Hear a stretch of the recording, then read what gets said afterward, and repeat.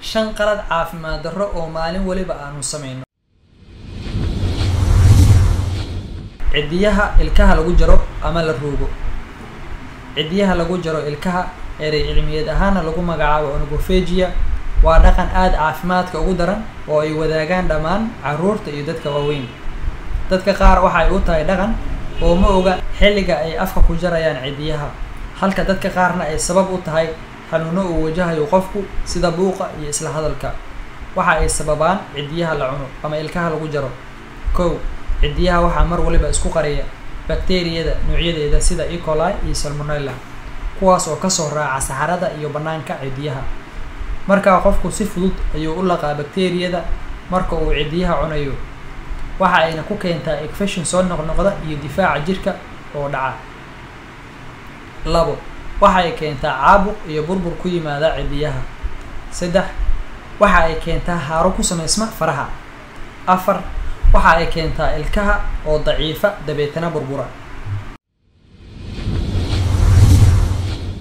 Sidoo kale waxaanu maalin waliba sameynaa isticmaalka suufka dhukayga looga saaro dhegta. Isticmaalka suufka dhukayga. Waxa uu ku dareensiin karaa inaad nadiifisay dhegta. Laakiin taasi waxa ay sababi kartaa dhaawac maqal xumi ama caabuq aad ku keento dhegta.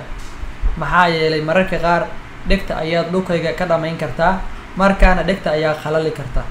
Halka mararka qaarna aad sababi kartid inaad dhukayga gudaha dhegta ku riixdid halkaana uu isku xiro kadib aad dhaawac kadibna aada dhaawacdo xuubka maqalka.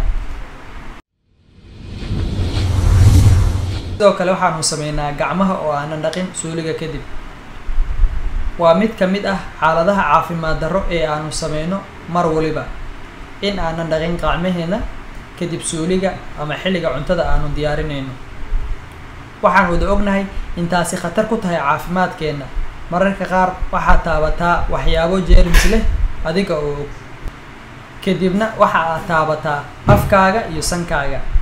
Sidaa waxaa ku gudbi kara fayraska noocyadiisa kala duwan cudurrada hawada lagu kala qaado iyo bakteriyada noocyadeeda kala duwan. In aadan dhaqsi bedelin cadagaaga ama buraashkaaga. Si aad uga taxadirto xaalad caafimaad darro oo kaaga timaado buraashka ilkaha waa inaad nadiifisaa mar waliba. Si deg deg ahna ku bedeshaa baaris ayaa muujinaysa in buraashka ay isku qarin karaan ugu yaraan toban milyan oo jermis ah. Markaa haddii aadan nadiifin islamarkaana aadan bedelin oo aadan ku dadaalin beddelka. Waxaa dhici karta in jermiska kuu gudbo.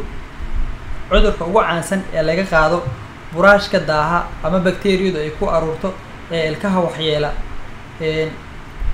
waxa uu ku dhacaa wadnaha. Waxaana lagu magacaabaa romatic hearty favor ama romatic hearty disease kaas oo keena caabuqa dahaarka wadnaha xirmidda duleelka wadnaha kalagoosyo xanuun murqa xanuun iyo maqaarka oo jirada. Ka aanu maalin waliba isticmaalno oo aanan jerms dilin sida mobeylka oo mararka qaar laga yaabo in suuliga ama meel nadaafadu aada ugu xun tahay uu ku dhaco. Dabeetana annaga oo aan jermis dilin inaan qaadano mar walibana aan ku taabano gacantaas jermis kale wejigeenna ama aanu raashinka ku cunno. Sidoo kale khataarka ama gambaleelka furaha sidoo kale iyo jaajarka iyo waxyaabaha lamidka ah